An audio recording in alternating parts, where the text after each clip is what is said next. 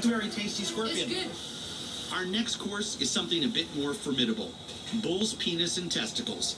In this country, where no part of the animal goes to waste, these parts are prime eating. Oh, I like it when they're served as a set. I would be missing out otherwise, yes. Exactly.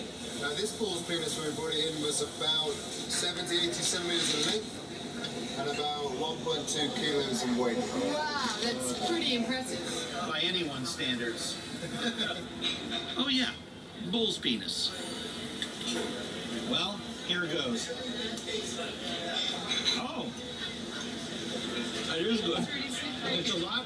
It is, I'll get it over. but it's not as tough as I thought it would be. It's very tender, and it has a very mild flavor. Just like. It's a texture. It's very, very much like lamb It's shank. like lamb shank. I've eaten a lot of these things in a lot of different parts of the world.